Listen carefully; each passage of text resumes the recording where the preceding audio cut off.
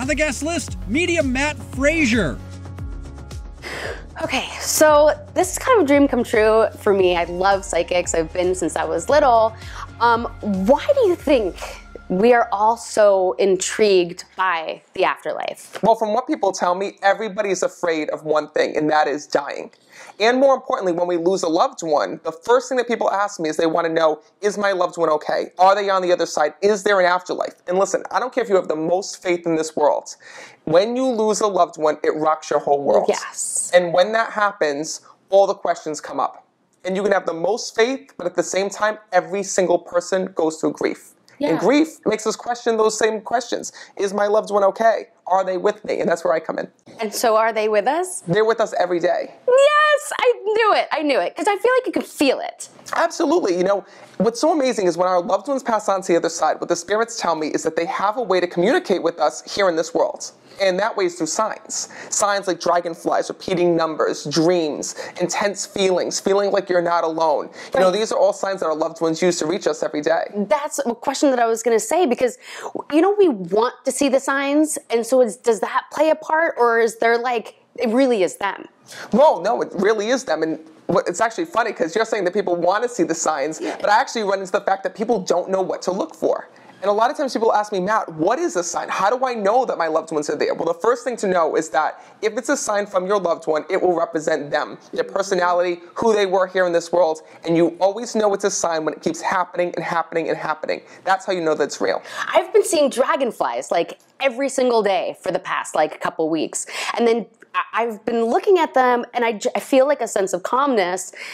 And then like a certain loved one comes into my brain. I don't know if that's just me thinking about them or if it really is them. No, it definitely is them.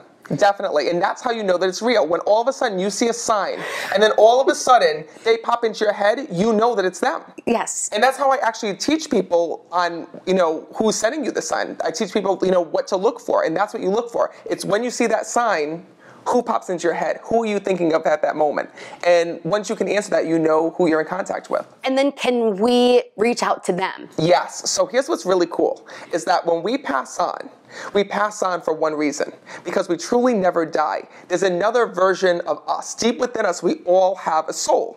And that soul is that second part of us. It's the energy version. Yep. So when our soul transitions onto the other side, what's so amazing is this, is that it's energy. So the same way that our loved ones can visit us in a dream, the same way weird things happen, like electri- electricity, you know, starts to play tricks on us, like lights start to flicker. Yeah. What's also amazing is that we can reach our loved ones as well in the spirit world. How do we do that? So here's how we do that. So it's all through our thoughts. Thoughts are energy. Have you ever noticed that when someone is angry with you, you literally feel sick? Absolutely. As an empath, I, I feel things all the time. Too much. And even if somebody lives in a different state, in a different city, you can feel it. Mm-hmm. And that's what's so crazy. So the same thing is, is that you're feeling people's energy that are living. Well, what about people who passed on? We can feel their energy too. And we can send energy to them. So when you think about a loved one in spirit, right? Just think about them like say, I wish my dad was here right now. I wish that my grandmother was here and with me. What you're doing is you're actually texting them in heaven right at that moment. Just like text messages we receive here in this world, thoughts are text messages to heaven. Why? Because they share one thing in common it's energy. Yeah. And so, how do they? I mean, I'm sure there's like a speed pass for these people. Like, how are they getting there so quickly? Well, Where- let me ask you this How does that text message get to China so quickly? How does it get to. You know, yeah, it's because it's energy, right? So, like when you text, you can text any, anyone in the world and it'll be there instantaneous. When you think about your loved one, it will reach them instantly. And that's what I want to share with everybody. Oh my gosh! I think that's amazing. I because I you know you always hope that, and we have faith, and I think that's why we have faith. But so what do what happens when they do pass? What does it look like over there? So, you know, first of all, I don't know everything there is to know about heaven and the afterlife, but being a medium and connecting with the souls on the other side, I've noticed that when I talk to different souls, I've gotten little glimpses of what heaven looks like, what they're doing there. And here's what I can tell you Heaven is a reflection of what we loved here in this world, and it best represents us. Just like everyone's home is different, for example, you might go to one person's home and it's decorated super modern. You might go to someone else's home and it's really traditional. Mm-hmm. In the spirit world, when we transition on to heaven, it's like creating our own worlds. It's a reflection of our life here in this world and the things we loved. Whoa. So they have like hou- houses? Like spirit houses? Well, I wouldn't call it spirit houses. It's not like they live in a community up there. But what's so amazing is that when I do connect with spirits, you know, they'll show me things that they loved here in this world. For example, somebody who is a fisherman will show me that they're out on the water, you know, out in the middle of, of the lake. If somebody was here and they loved architecture, maybe I'll see them sitting on top of a tall building because that was a reflection of their life here in this world. and that's where they want to be. That's where their happiest vibes and energy were on this world. So that's maybe the, how they feel over there. Well, you gotta remember that heaven is not a separation of worlds, even though it feels like that for us, right? In between our world and the spirit world is a veil. And if I were to lift up a veil, it's almost like a thin curtain right here, right now, we would see our loved ones with us every day. And that's what I see as a medium.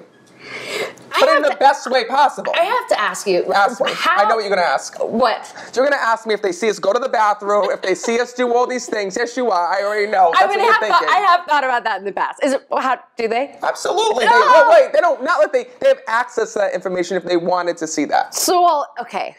All the things we, you know, as teenagers that you know we got past our parents, maybe our grandparents saw the whole thing. Yes. No. Yes, it happens. It but they, happen. they forgive us. There's no judging. There's no judging. Right? Because I'm sure they did it too. Well, listen, here's what it is, right? When we transition on, our loved ones can see everything and anything that we do. But do they tune into that? I like to think of it as this. Like right? a radio. Well, I know. I always think about it like security cameras. We all have security cameras in our house, right? But when you're not home, how often are you looking at those cameras? You know, just like your mom or your dad wouldn't walk in on you in the bathroom, they're not going to do that in heaven. Right. Because there's one thing I know is that your loved ones don't change. So if they weren't super, super invasive and, and nosy here in this world, they're not going to be that way in the afterlife. Right, right. So what I wa- really want to ask you is, how did you figure out that you had these abilities, and are people just around you all of the time? Yes. So first of all, when I was just a little kid, it, for me it was like living that movie, The Sixth Sense. Is literally when I would go to bed, I would sense and feel people who had died.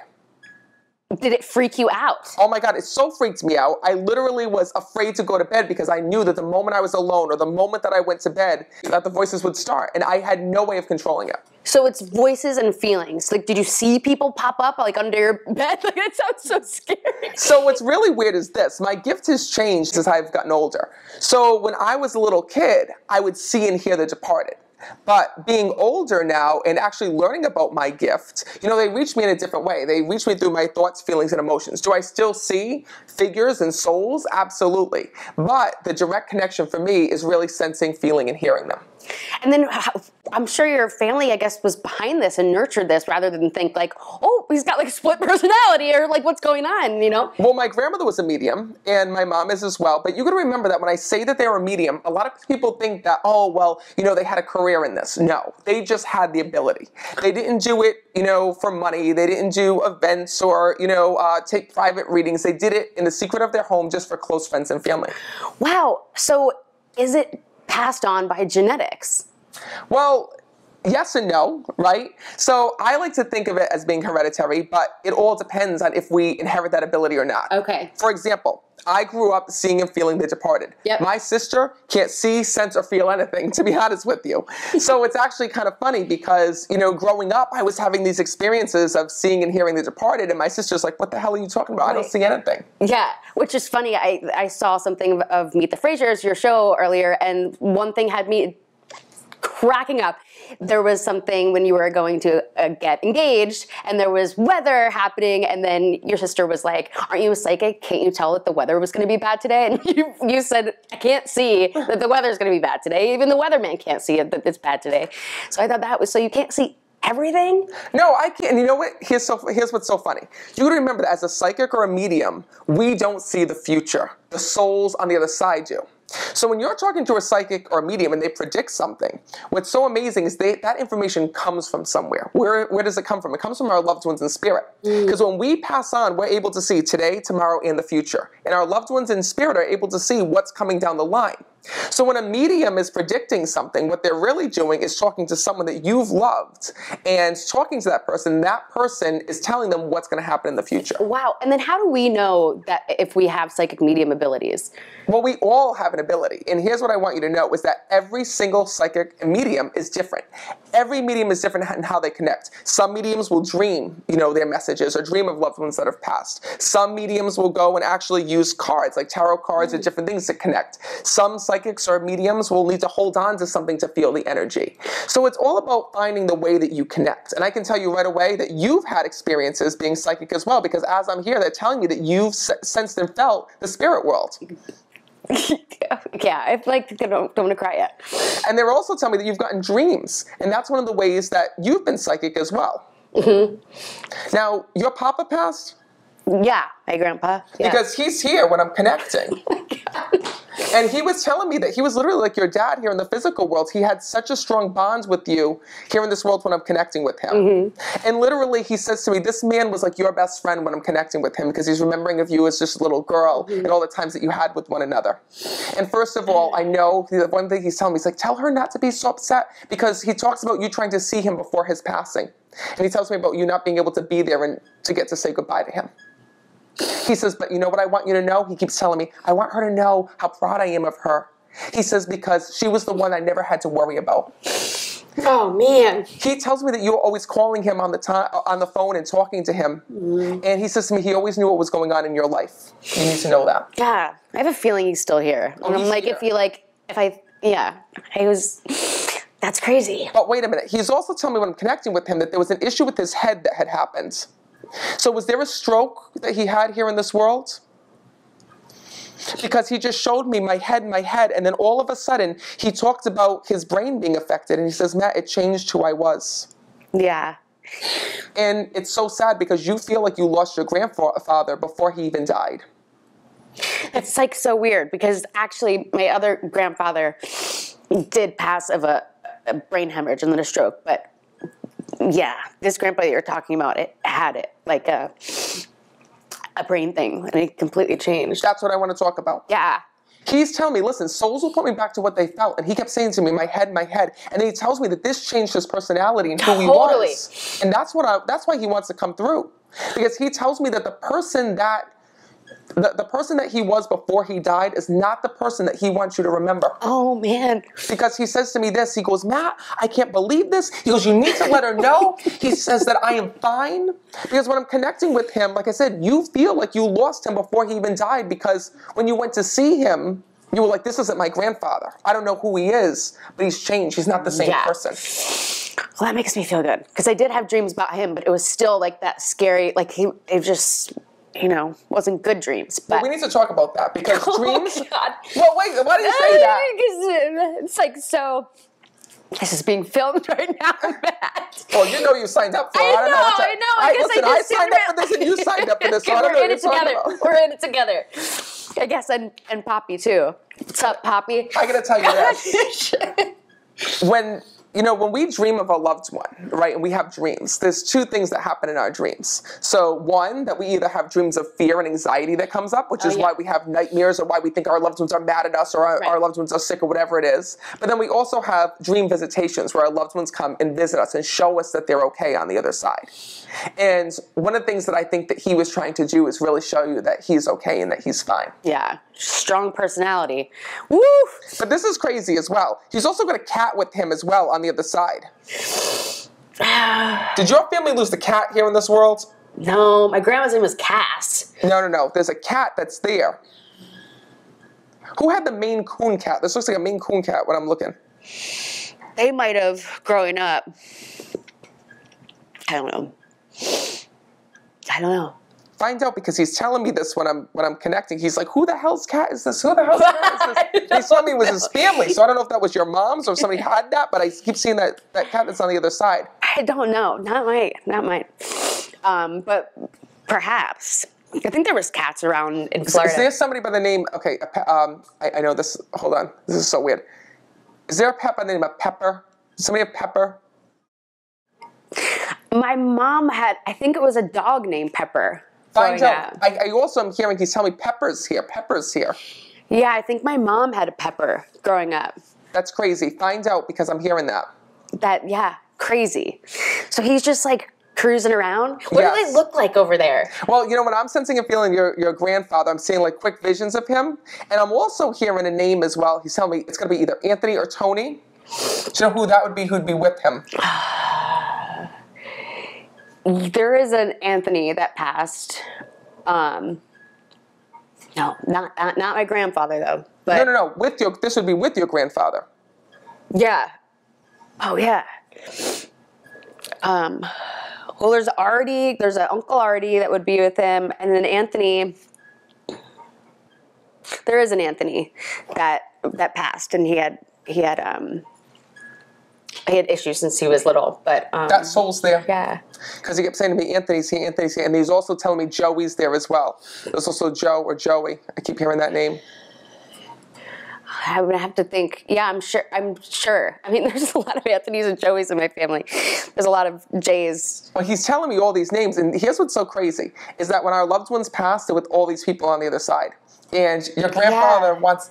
Your grandfather wants to thank you for holding on to all the photos because he tells me you were going through photos of him and the family, and he says to me, "Oh my God, I can't believe this." Yeah, I uh, I love just looking through photos and all that. That's crazy. So when he like go when they go on the other side, they see their loved ones right there. Absolutely. And then what about guardian angels? Do we all have a guardian angel? So I was hoping you were going to ask me this. Okay. You know, what's so amazing is people ask me, Matt, what if we don't have somebody watching over us? And what I can tell you is this we're all born here in this world with two souls that are assigned to us, and that is a guardian angel and a spirit guide. And what's so amazing is this our guardian angel is the one that walks with us every day, that helps us when we're going through anxiety, when we're going through challenges, when we're going through struggles. And our spirit guide is the one that's with us on our life path here in this world and keeps us on path. And then how do we know? So the guardian angel is that like when you have like conflicting thoughts in your head and like they kind of tell you like you can feel it like this is where you sh- like what you should be doing and what you shouldn't be doing. But we all have we all have two vibrations, right? We have our everyday thoughts that are in our head, and we have our psychic thoughts that are in our head. But what's tough is this. We don't always listen to our intuition. We're mm-hmm. all born with intuition, and your intuition is that phone line that we have to heaven. It's that feeling that you get that the phone's gonna ring, and next thing you know, it does. So that feeling that you get that someone's there and with you that had passed away, and then next thing you know, you remember it was their birthday or a sig- significant date. Yep. Your intuition is your direct phone line to heaven. And more importantly, that's the line that your loved ones are using to reach you. So our loved ones do try to guide us here in this world. The tough part is is that we don't listen to their advice the way that we should. I, so yeah, there's a lot of times when we like you when you feel your instinct, when you feel like follow your gut. People say follow your gut all the time, right? Maybe that's our guardian angel, maybe that's our, our spirit guide, but we should go with that, right? Absolutely. Because I got to tell you this, all right? Even as a medium, I don't always listen to my intuition. And all the time, I'll hear things, I'll sense things, and being psychic, I know that they're right, but I want to prove them wrong. Yes. And like they'll tell me, don't do this, or don't go towards that, or don't do the, this event here because your flight's going to be de- delayed. And I'm going to be like, you know what? I'm doing it anyway. Mm-hmm. Yeah. and that still happens to us. yeah, that's wild. So then you know, do you have like a really good relationship with your spirit guides and your guardian angels? So actually, to be honest with you, I have, a, I have a better relationship with everybody else's loved ones because I feel like I don't listen to mine as much as I should. Because constantly every day, as a medium, I'm like the 24-hour call service to heaven. I bet. So I was thinking, like, so when you're like going to the CVS, you're getting your prescription filled, you're going to get a sandwich. Do you see people all the time? Absolutely. For me, it's this. When I'm going and I'm and I'm in different places, I'll literally see the souls of our loved ones there alongside the living. So a woman who had lost her daughter who's at the supermarket checking out, I might see that daughter standing right behind her in spirit. You know, somebody who had lost their grandfather here in this world might be going in, following them as they're on their way into a job interview. Someone who had lost their dog here in this world, you know, I might see them walking and the dog walking behind them in spirit. We truly never lose anybody. Wow. That's amazing. And then talk to me about pets. Like, you know how devastating it's like losing a family member Mm-hmm. when you lose a pet.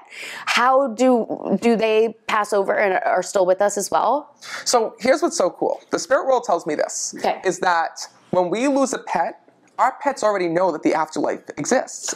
And that's the reason why they're not afraid of death and dying. Have you ever noticed that? They have like no fear whatsoever about death or dying. I don't know. I've never asked Chunk, but I don't know. Honestly, you know how like people see like their dogs going like this, and they're like, I think they see somebody, but we don't know.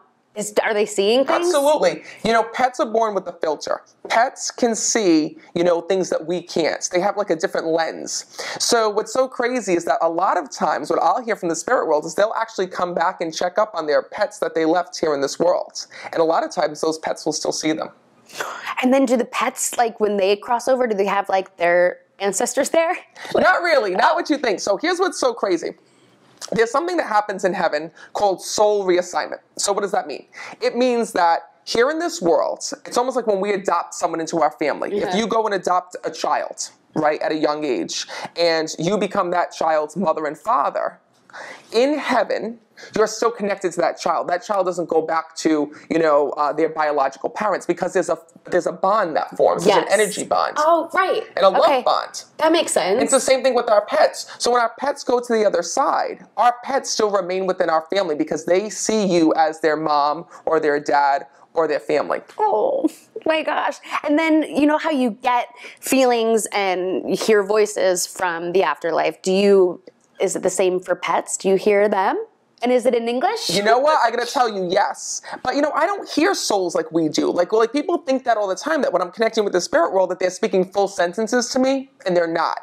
What it is is quick bits of information. And a lot of times when I see a soul, like for example, when I sensed your grandfather here, Yeah. I started asking them questions. You know, who are you with? How did you die? What are the messages that you have for your granddaughter? Why are you here? All in your head. all in my head. And then they choose on what they answer back. Sometimes they'll tell me everything. Sometimes they'll choose to stick to their own dialogue. But I always ask. Wow. That's incredible. So it's the same thing with pets. When pets come through, a lot of times I don't even know that I'm talking to a cat or a dog. And it actually happens when I was with, um, I was actually on the air with Jenny McCarthy on her radio show, and she had her two friends there. And all of a sudden, there was a soul that came through that was that was telling me that they were rushed um, into emergency surgery and died. And the woman was like, "Oh my God, that was my dog! It just happened a, a few weeks ago." And I had no idea that you know I was speaking to a dog because I wasn't seeing that soul, but I was hearing that soul, and I was seeing visions of an operating table. I'm seeing visions of you know blood loss, and they're showing me different things because the spirit world uses their own symbols to communicate with me. Wow. So like for for pets it could be just visuals. It's not necessarily they're like, "Hey Matt." Exactly. I never had a dog come in and say, "Hey, Matt." But you know what? I'm going to tell you something right now. I've learned, and this is what I wrote about in my book as well. What I wrote about in my book is that the spirits tell me on the other side that one day when we cross over, we can actually speak to our pets. No way. Wait, now let me tell you something. That's weird as hell to me. Like, I'm going to tell you something. That's That's, like a something. TV show stuff. That's something like I love my pets. I am all about the pets, but I don't want to hear from my pets on the other side. Like I, I like them being silent. So like hearing that like freaks me out. You're like, what kind of voice do they have? I don't want to know. and you know what's so funny is people say to me all the time, like, how come you're freaked out? You're a medium. Like, well, listen, I'm still freaked out that I hear this. Like, right, right. But I guess what the spirits tell me is that on the other side, we're all spirits. So even here in this world, our soul senses the soul that's in that cat, that dog, that horse, that animal that you love. There's so many life questions that we all have on the day to day. And if we get the opportunity to ask a psychic medium, why not? Right? So there's there's certain things that that we can learn about our day-to-day lives by learning about the afterlife. Absolutely. So our loved ones in spirit tell me one thing. That we all have a journey to do here in this world. And that's the reason why they send us signs and they want to help us. Because we really don't know what our journey is. But the souls tell me that one day when we transition onto the other side, we'll see exactly what we were meant to do, the people that we were meant to meet, and why we were put here on this earth. So there is a purpose for all of us. Absolutely. If you're living and you're breathing, there's purpose for you. So then what happens if you I hope this doesn't happen to anybody, but what happens if we do pass on and we're like, "What? We were supposed to do that and we didn't or maybe people pass at an untimely untimely time." No, you're absolutely right. Sometimes that happens. Sometimes people pass on to the other side and they don't get to finish their journey here in this world. And sometimes they'll help to finish it from the afterlife through helping somebody else here in this world. And sometimes that's where reincarnation comes in. And that's a whole nother thing. That's a whole nother thing. Is that a thing? So I gotta be honest with you, it's very rare. I haven't heard souls talk about this much, but I wouldn't because, you know, if souls reincarnate, I wouldn't be able to talk to them. Because they weren't that person on in this world and they didn't have the life lessons and they didn't bring all the things to the afterlife. Correct. Okay, I'm learning. There's so much to learn, and that's why we have to just dive deep and dive into it. And yeah, that's dope. That's awesome. So, one more thing what do they look like up there? Like, because we know what we look like here, and it's like a physical thing, and we wear clothes, and we have like this physical kind of, it's such a big part of our lives. But if they don't have the physical body, like what's going on there? So I'm so glad that you asked me this for one reason, because when we pass on, we keep our physical appearance. And what's so amazing is this, is that the same way that we like go and try to find the perfect Facebook picture or Instagram picture that best represents us, our loved ones in spirit do the same thing. And a lot of times when they come through, they'll come through in younger years because it best re- represents them before they were sick, before they had the memory issues, oh, before they had any any problems here in this world. Wow. So we can like pick our like spirit avatar. Absolutely. That's a good way of thinking of it, to be honest with you. And I gotta tell you, when souls come through and I see them in spirit, you know, they'll be wearing their wedding ring, ring that they wore here in this world. Yeah. They'll have their hair the same way. You know, they'll wear be wearing clothes on the other side. Oh my gosh, I love that because I want to like relive me being like 16, 17, riding a skateboard with bare feet. And I probably will be doing that forever. And maybe I'll if do that's what heaven is for you, It- yeah. it is cool. So everyone's just doing what they love out there, and is they're looking their best. I mean, we all want our loved ones to look their best, right? Um, amazing. And then on the in the afterlife, do we have like grief and pain like we have in this world? Absolutely not. You know, one of the things that I've learned is that when we transition onto the other side, we leave all of our negative emotions here. Woof. Here's Bye. what, but let's talk about what we do bring to heaven. When we go to heaven, we bring these things. 'Kay. Our memories, we bring our connections that we made here in this world, and we bring with us our life lessons that we learned here in this world. Ah. Because we're here for a reason. Here is the classroom. The other side is the place where we're actually at peace. It's paradise for us.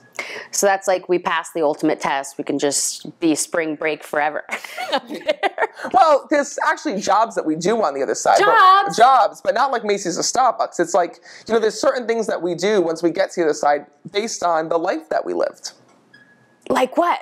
So, for example, I had many souls that came through, you know, that had passed in tragic ways, one of which passed of an overdose here in this world. And when he got to the other side, sadly, he saw that his younger brother was going through that same addiction. Mm. So, one of the jobs that he took in the spirit world was trying to get his brother help here in this world, So the jobs are to help the people in this world. based on the lessons we've learned, yes. Wow. And this is all stuff you've learned growing up with all of this information and energy being transmitted to you. Well, like I said, I don't know everything. I'm still learning every single day. Mediumship is a language. And what's so amazing is that with every single reading that I do, I learn something more. And that's the reason why I wrote my new book, is to really take all the questions that people have asked me about heaven and the afterlife and answer them. Because I've learned one thing. The more that we learn about heaven and the afterlife and about what happens when we pass, the more that we're not afraid. Yeah, because it is kind of scary. The unknown is scary. Absolutely. Yeah. And then what would you tell people? I know you just kind of was that was great right there, but is there anything else you would like to tell people to kind of put them at ease um, for us that just really don't know what's going on back out there or if our loved ones are okay? The one thing that I want people to know is this is that your loved ones are not dead, they're just different. And even though they might not be physically here, there's still a spiritual connection that we have with them on the other side. And with that, there's a way to get in touch with them as well. Yeah, and then tell me how do how do you get in touch with them? I guess it's with the with your thoughts, right? It's with your thoughts, looking for signs, Yep. and also learning as much as you can about life after death. Because once you can do that, you can learn how souls communicate, why souls communicate, and how you can get in touch with them. I love that. I love that. And then how do we really tap into our psychic abilities? So here's what's really cool. Okay. The same way that we're trying to connect with the spirits, the spirits are actually trying to connect with us. Trying. And that's where a medium comes in, right? Because the medium is just that person in between. Yes. But what's really cool is to figure out how your loved ones are communicating with you. Because what I have to tell you is this every soul communicates different. And they communicate based on how they were in life. If you had somebody that was super talkative here in this world, chances are they'll be super talkative in the afterlife. If you had somebody that was really reserved and really quiet and didn't like to speak, guess what? It's going to be really hard to talk to them on the other side. But the way that you can do this and the way that you can really, really uh, tap into your own ability and connect with your loved ones is by asking your loved ones to send you a specific sign, something that you will know is really them. And then all you have to do is be open. Interesting. I've done that before. I swear I did this with my grandmother, and she was like Pisces the fish, and like I went out. Something told me to go to this like river, um, and I just sat there, and I had a huge fish just come right in front of me, and I'd never seen a fish in that that body of water before, and I was like, whoa. grandma. Well, listen, there's no such things as coincidences. I mean, not in my world anyway. Coincidences are just a way for our loved ones to reach us. I love that. I love that. Well, thanks for coming through, Poppy. Thanks, Matt. Oh, you're so welcome. I love it.